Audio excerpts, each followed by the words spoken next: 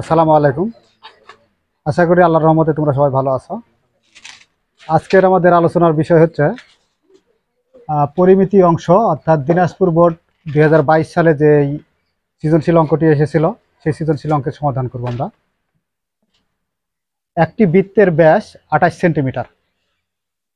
ক নাম্বার প্রশ্নে আছে কি দেখো, বৃত্তটির পরিধি নির্ণয় করো। তো বৃত্তটির পরিধি নির্ণয় করতে হলে আমাদের প্রথমে জানতে হবে কি, একটি বৃত্তের ব্যাসার্ধ জানতে হবে।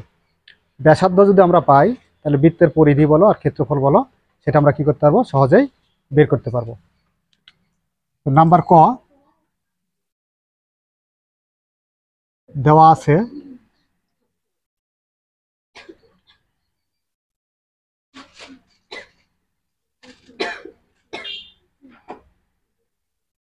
বৃত্তের ব্যাস। বৃত্তের ব্যাস কাকে ধরা হয়? টু আর কে ধরা হয়, তাই না? Two r two r equal হচ্ছে কত? আঠাশ সেন্টিমিটার।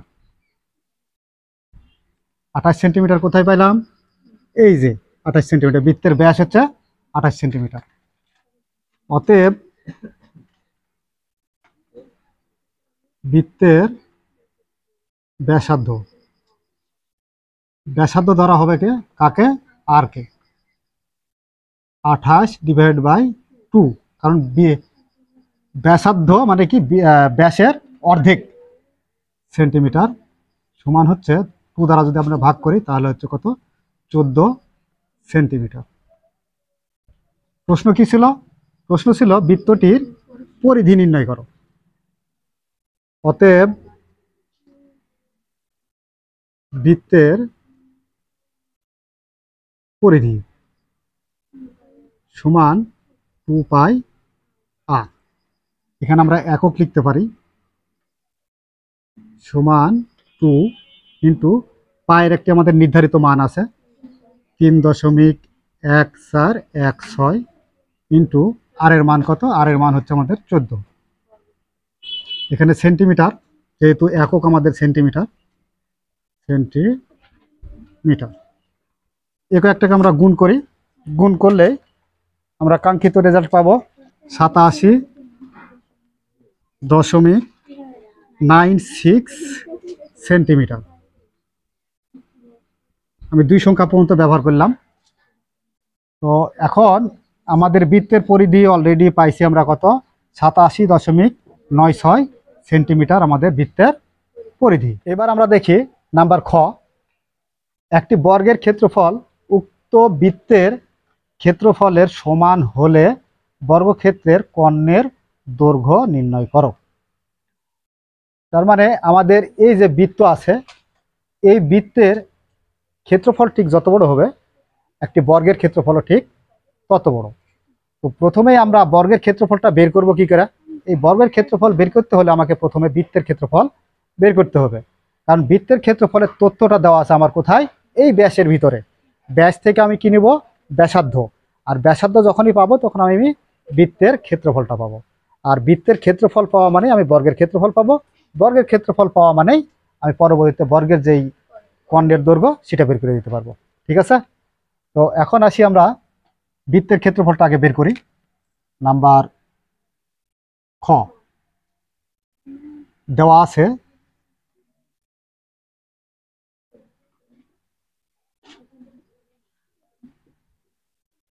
বৃত্তের ব্যাস টু আর ইকুয়াল হচ্ছে কত? আঠাশ সেন্টিমিটার। অতএব বৃত্তের ব্যাসার্ধ আর মানে ব্যাসের অর্ধেক, আঠাশ ডিভাইড বাই টু সমান হচ্ছে কত? চোদ্দ সেন্টিমিটার। এখন যেহেতু আমি আর এর মানটা পাইছি, তাহলে প্রথমে আমার কি কাজ করতে হবে? বৃত্তের, এখানে বলা হয়েছে একটি বর্গের ক্ষেত্রফল, উক্ত বৃত্তের ক্ষেত্রফলের সমান। তার মানে আমাকে আগে একটি বৃত্তের ক্ষেত্রফলটা আগে বের করে নিতে হবে। অতএব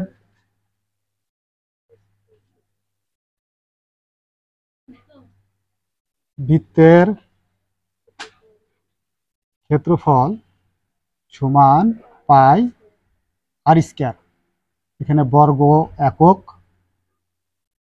সমান পায়ের একটি নির্ধারিত মান আছে তিন দশমিক এক চার এক ছয় ইন্টু আর এর মানটা বের হলো কত আমার? চোদ্দ। চোদ্দোর উপর স্কোয়ার দিই আমরা বর্গ সেন্টিমিটার। সমান তিন দশমিক এক চার এক ছয় ইন্টু চোদ্দ দ্বারা চোদ্দোকে গুণ করলে কত আসে? একশো ছিয়ানব্বই বর্গ সেন্টিমিটার। এখন আমরা এই তিন দশমিক এক চার এক ছয়কে একশো ছিয়ানব্বই দ্বারা গুণ করি।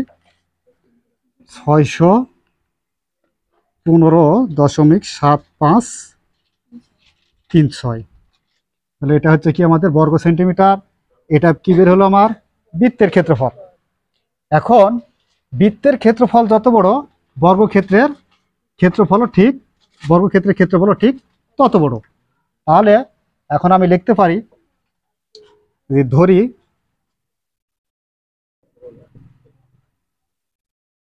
বর্গ ক্ষেত্রের এক বাহুর দৈর্ঘ্য সমান এ সেন্টিমিটার। অতএব বর্গক্ষেত্রের ক্ষেত্রফল সমান বাহু গুণ বাহু। তার মানে কি? আমি বর্গক্ষেত্রের এক বাহু ধরেছি কত? এ। তার মানে কি? এর উপরে স্কোয়ার বর্গ সেন্টিমিটার। লক্ষ্য রাখো। এই এ স্কোয়ারটা হচ্ছে আমার কি? বর্গক্ষেত্রের ক্ষেত্রফল। আবার এখানে বলাও আছে একটি বর্গের ক্ষেত্রফল উক্ত বৃত্তের ক্ষেত্রফলের সমান। তাহলে এখন আমরা লিখতে পারি যে প্রশ্ন মতে বৃত্তের ক্ষেত্রফলটা বর্গক্ষেত্রের ক্ষেত্রফলটা আমরা কত পাইছি?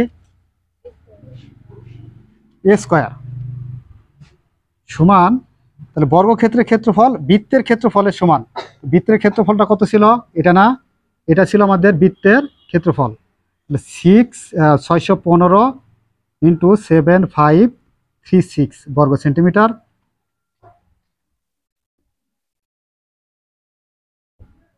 বা শুধু এ ইকুয়াল স্কোয়ারটা সমানের ওই পারে নিয়ে গেলে কী হবে? রুট ছয়শো পনেরো দশমিক সাত পাঁচ তিন ছয় বর্গ সেন্টিমিটার থেকে কি হয়ে যাবে এটা তখন আমাদের সেন্টিমিটার। সেন্টিমিটার। অতএব এ ইকুয়াল তাহলে আমরা এখন ছয়শো পনেরো দশমিক সাত পাঁচ তিন ছয়ের উপরে রুট চাপি। তাহলে twenty four point eight one four three eight এত দেওয়ার দরকার নেই সেন্টিমিটার। এখানে দুই সংখ্যা পর্যন্ত ব্যবহার করবে, তাহলে এনাফ তাহলে আমি এখন বর্গক্ষেত্রে কি পাইছি এটা? বর্গক্ষেত্রে কিন্তু আমাদের এই যে ধরি যে বর্গক্ষেত্রে এক বাহুর দৈর্ঘ্য কত? A centimetre. তার মানে আমি বর্গক্ষেত্রের একটি বাহু কত? চব্বিশ দশমিক আট এক চার তিন আট বর্গ সেন্টিমিটার পাইছি। তাহলে এখন এখানে চাইছিল কি? বর্গক্ষেত্রের কর্ণের দৈর্ঘ্য নির্ণয় করো। অতএব বর্গক্ষেত্রের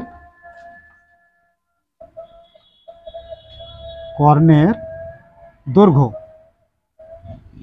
সমান রুট টু গুণ বাহু। তাহলে বাহুটা আমি ধরেছিলাম কাকে? এ কে। এই তাহলে সমান রুট টু ইন্টু এই যে আমার এর মানটা নির্ধারিত মান কত বের হলো? হ্যাঁ চব্বিশ দশমিক আট এক চার তিন আট সেন্টিমিটার। এখানে একটু ক্যালকুলেট করলে যেটা বেরোবে, সেটাই আমাদের হবে অ্যান্সার পঁয়ত্রিশ দশমিক শূন্য নয় দুই আট সেন্টিমিটার। আর এটাই হলো আমাদের কি? অ্যান্সার সেটা কার অ্যান্সার বর্গক্ষেত্রে কর্ণের দৈর্ঘ্য চাইছিল, তো বর্গক্ষেত্রে কর্ণের দৈর্ঘ্যটা আমি অলরেডি বের করে দিলাম কত? পঁয়ত্রিশ দশমিক শূন্য নয় দুই আট। সেন্টিমিটার। নাম্বার গ, বৃত্তটির পরিধি একটি সমবাহু ত্রিভুজের পরিসীমার সমান হলে এদের ক্ষেত্রফলের অনুপাত নির্ণয় করো। তার মানে বৃত্তটির পরিধি যেটা আছে, সেটা হচ্ছে কি আমার একটা সমবাহু ত্রিভুজের পরিসীমার সমান। তাহলে এদের ক্ষেত্রফলের অনুপাত নির্ণয় করো।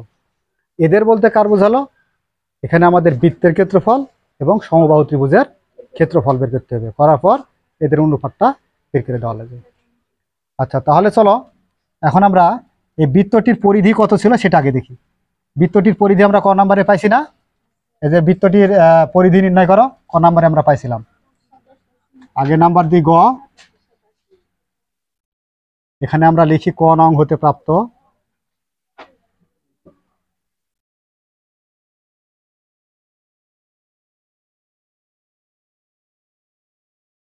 বৃত্তের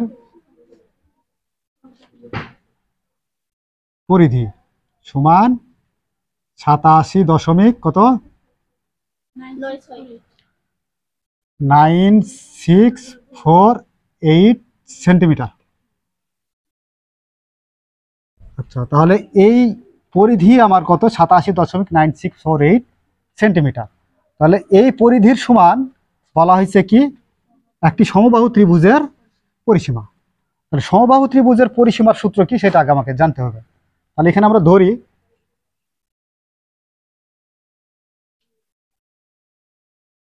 সমবাহু ত্রিভুজের এক বাহু সমান এক সেন্টিমিটার। অতএব সমবাহু ত্রিভুজের পরিসীমা।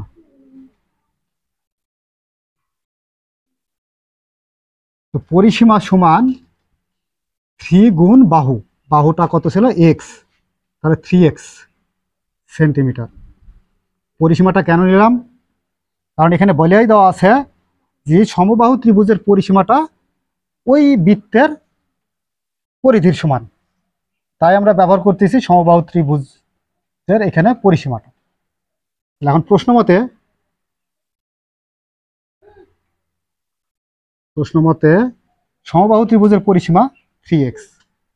আর এই থ্রি এক্স সমান একটা বৃত্তের পরিধি যত বড়, সমবাহু ত্রিভুজের পরিধিও পরিসীমাও ঠিক তত বড়। তাহলে এখন লেখো, সাতাশি দশমিক nine six four eight centimetre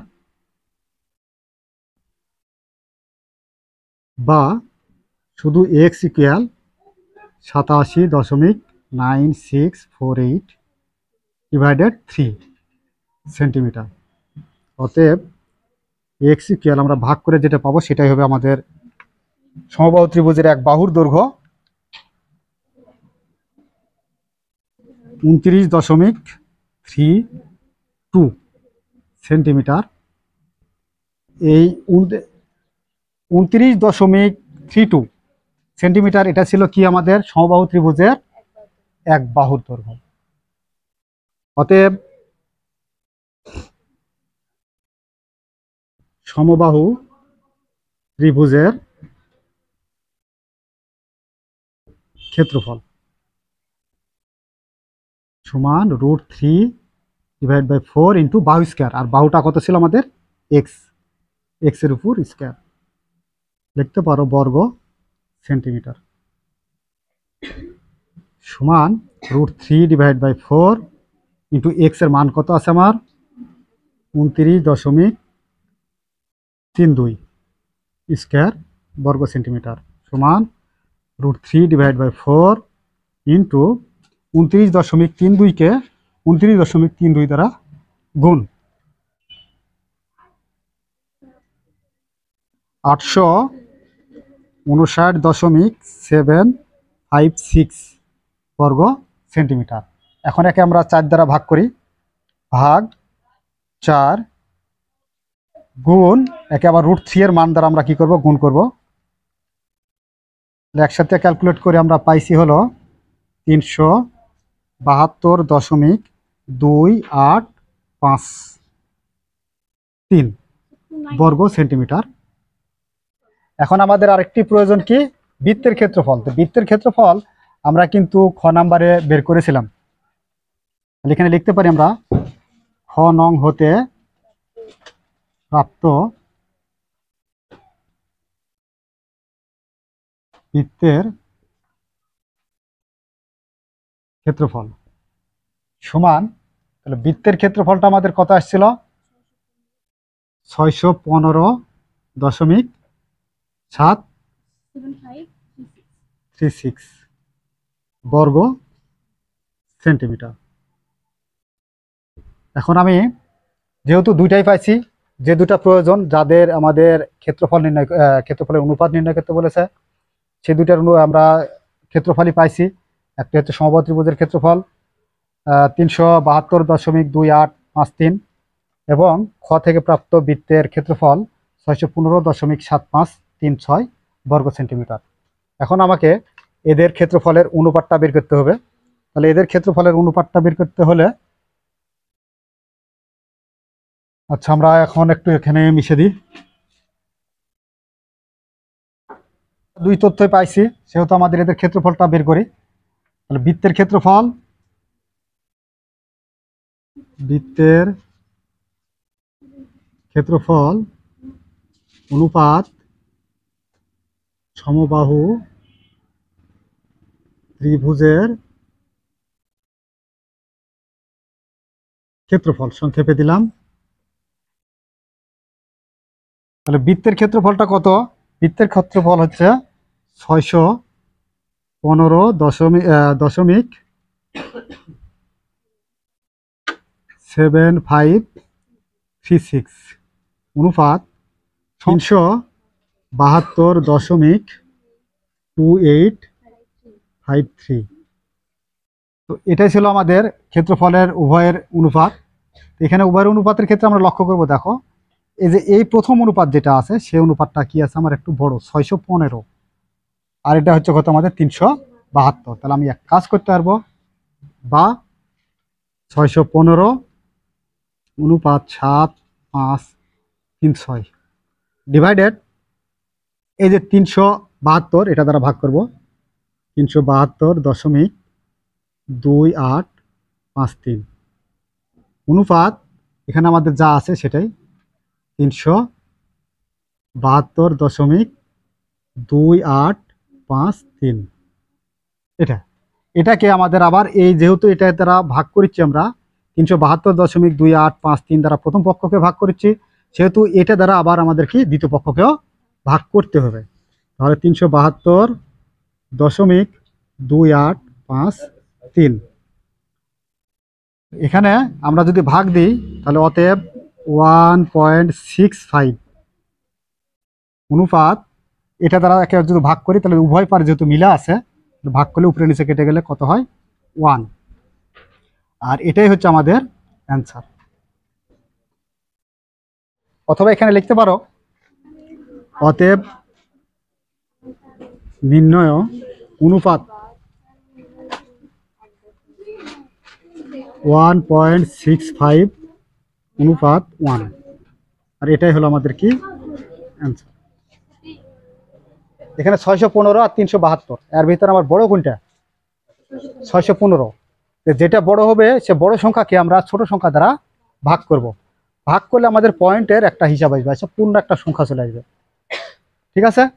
আর যেই সংখ্যা দ্বারা ভাগ করব, ওই সংখ্যার নিচে আবার ওই সংখ্যাটা দিয়েই আবার ভাগ করব এটাকে দেওয়াকে এক করব, নীল করব। যদি আবার কোনো সময় এটা আমার ছোট থাকতে পারতো, এটা বড় থাকতে পারতো, তাই না? এখানে যদি বড়টা থাকতো কথার কথা মনে করে এখানে আমার এক হাজার আছে আর এখানে আছে পাঁচশো। তাহলে আমি এই এক হাজারকে এখানকার পাঁচশো দ্বারা ভাগ করব। এখানকার পাঁচশোকে যদি আমি এক হাজার দ্বারা ভাগ করি, তাহলে নিশ্চিত এখানেও আমার পাঁচশো দ্বারা আবার উপরটাকেও পাঁচশোকে ভাগ করতে হবে।